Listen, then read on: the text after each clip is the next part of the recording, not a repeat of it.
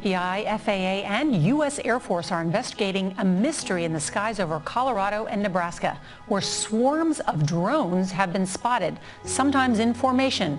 But who's flying them? People are starting to get angry, demanding the truth and threatening to grab their guns. The local government has to tell people to not shoot the drones.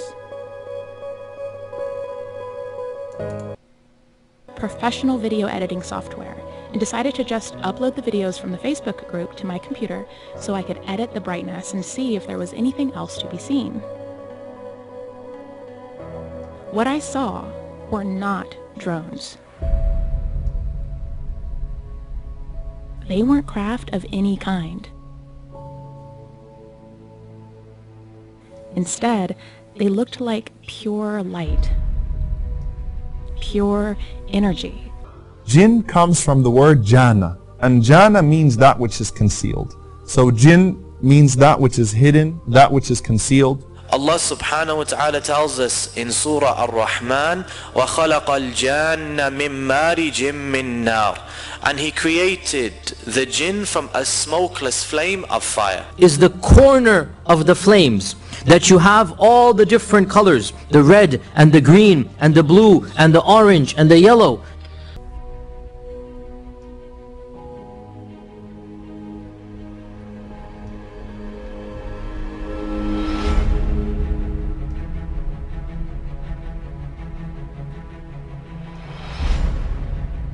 Shared my findings with the group, but most people just laugh and call me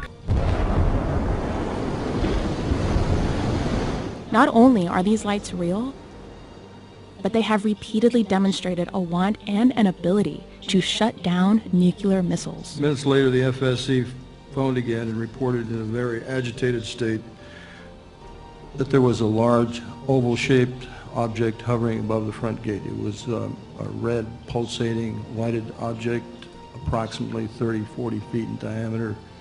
Uh, the best he could describe it. It was um, uh, it was difficult to distinguish a structural part of it on the inside except that it was glowing red, pulsating. To inform my commander, our missiles began to shut down.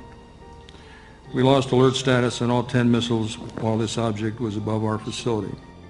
The CIA website offers dozens of previously classified documents confirming what others claim. The unexplainable lights make no sound and appear as balls of fire. They fly at high speeds and altitudes around military installations, and they are not attributable to natural phenomena or known types of aerial vehicles. The Tehran government released documents describing lights they thought were secret U.S. military planes, but with characteristics that defy known laws of physics. The document describes flashing strobe lights in a rectangular pattern and alternating blue, green, red, and orange in color. The sequence of the lights was so fast that all the colors could be seen at once. And then another object appeared to come out of the side of the primary object, going straight down at a great rate of speed. The once classified United Kingdom Project Condign report explains official findings. Several aircraft have been destroyed and at least four pilots have been killed chasing UFOs. Russian investigators have measured, or at least detected, fields, which are reported to cause human effects when they are located close to the phenomena. The researchers conclude they don't really know what the lights are, but that they may be due to atmospheric, gaseous, electrically charged, buoyant plasmas.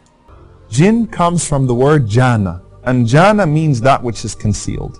So jinn means that which is hidden, that which is concealed. Allah subhanahu wa ta'ala tells us in Surah Ar-Rahman, وَخَلَقَ الْجَانَّ مِنْ مَارِجٍ مِّن نَّارٍ And He created the jinn from a smokeless flame of fire. Is the corner of the flames that you have all the different colors, the red and the green and the blue and the orange and the yellow. Ivan Sanderson proposed that the lights could fly in the sky and also in water. He called them unidentified submarine objects, or USOs. He believed the lights live in our oceans, either evolving there for millions or even billions of years, or perhaps they are life forms not from Earth who have inhabited our waters. Iblis throne. So people have been talking about Iblis. Where is he? His throne. The Prophet ﷺ has reported, you know, in a very sound hadith, which is in uh, Muslim, reported by Jabir, that uh, عرش الشيطان عرش إبليس على الماء عرش إبليس على الماء The throne of Iblis, the throne of Shaitan, this is the master Shaitan. The master Shaitan, his throne is on water. Where? What water? What ocean?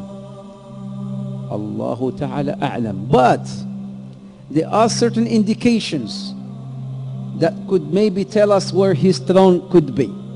There's another hadith where it says, إنه, this is also in, in Muslim, إنه عند برزخ الماء عند برزخ الماء What's a barzakh?